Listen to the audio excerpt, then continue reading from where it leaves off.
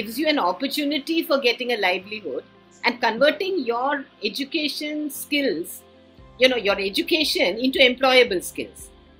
That's the power of Mahika. Hello, everyone. I'm Anupama Ramteke from the founding team of Mahika. And today it gives me immense pleasure to introduce you to one of our keyboard members. She's strong, she's powerful, but moreover, she's empathetic towards our cause of transforming the lives of women in this country.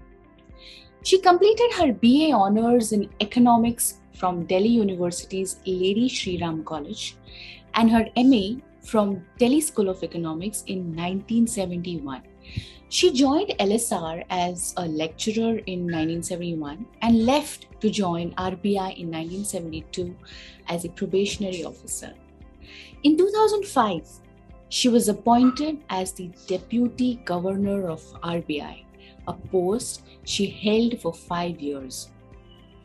As Deputy Governor, she is considered one of the primary figures in the central banking of India due to her stance on promoting financial inclusion and represented RBI on the board of National Bank for Rural Development.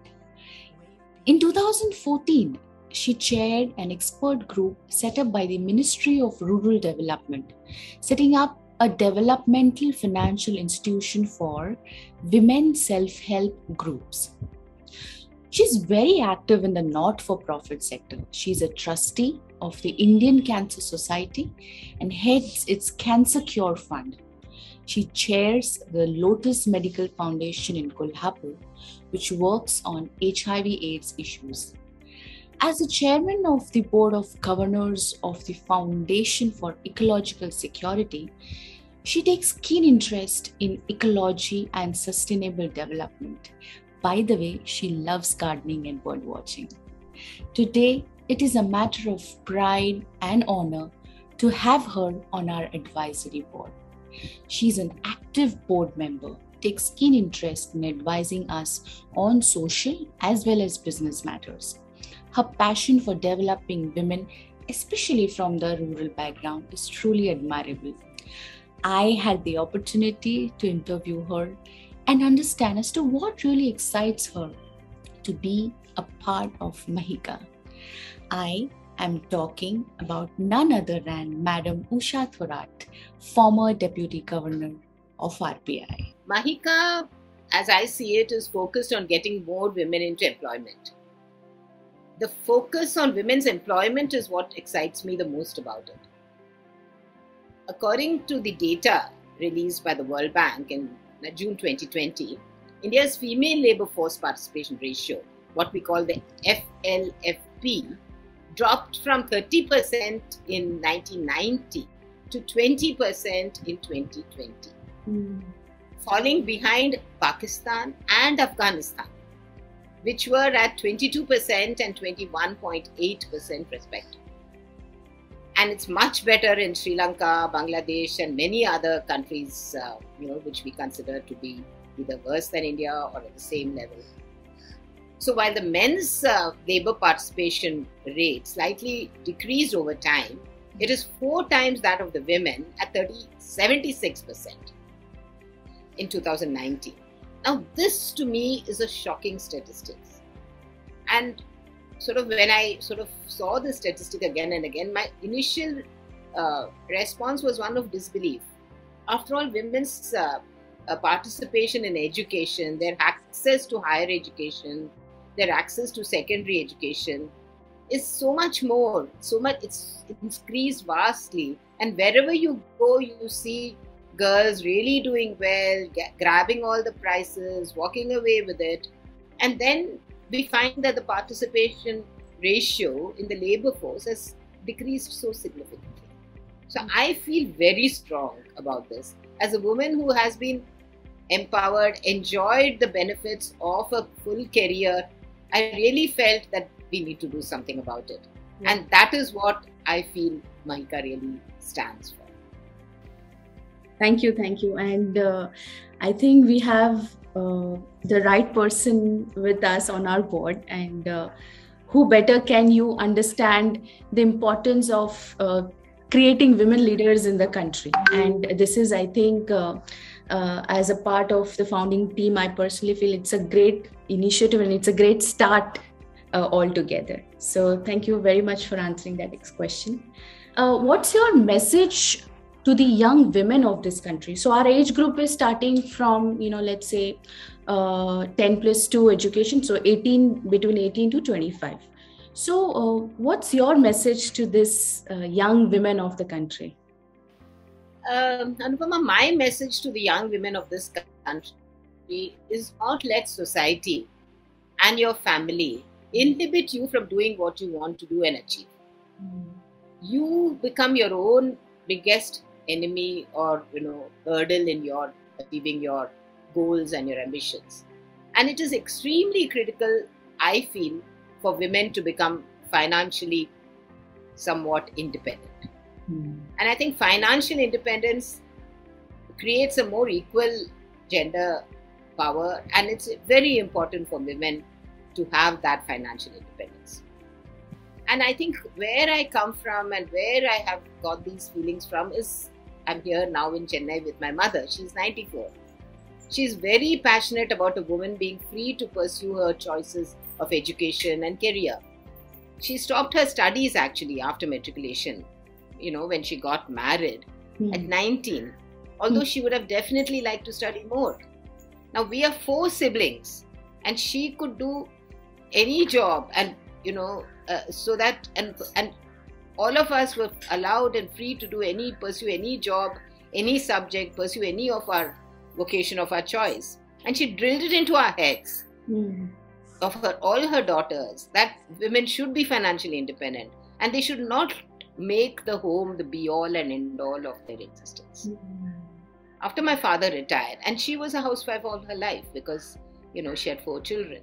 And after my father retired and they set up home in Chennai, she started a creche for working women.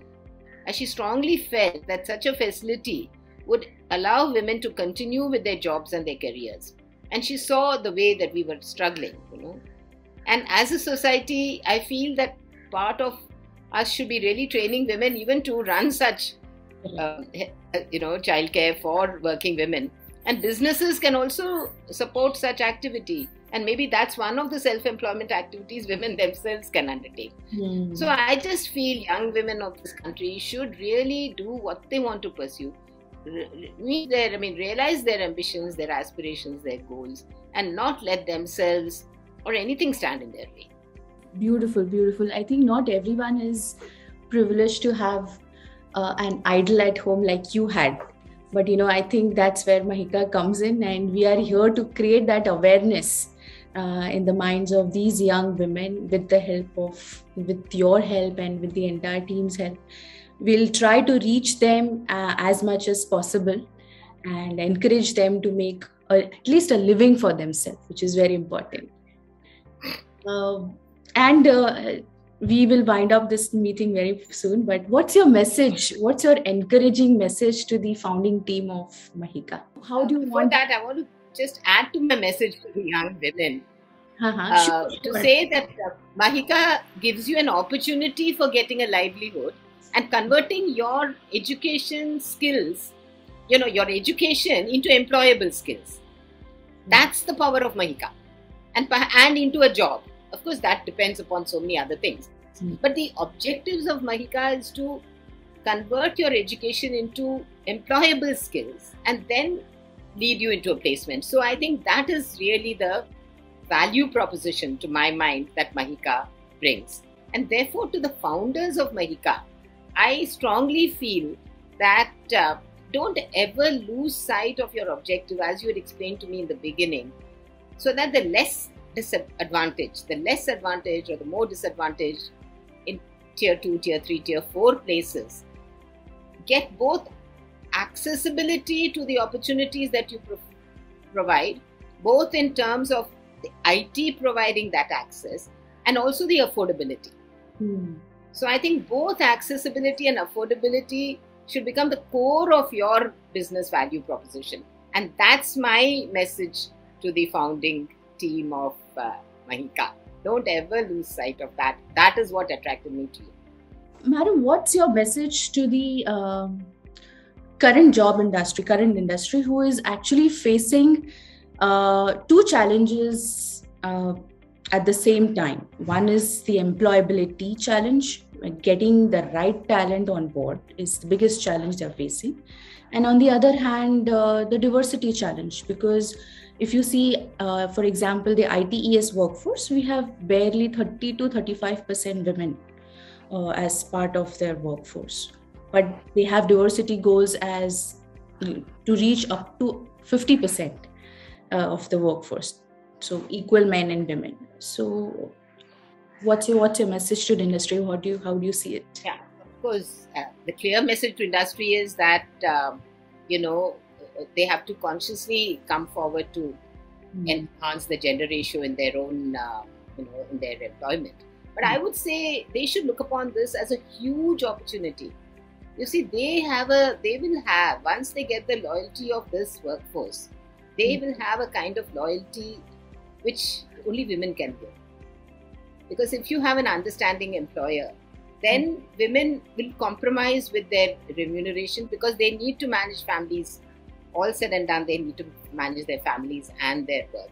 Mm. And they will be extremely, you know, dedicated, hardworking, focused, and also adopt a nurturing approach in their own work environment with their peers. Mm. You know, work better as teams because what they do at home is leading, leading a team.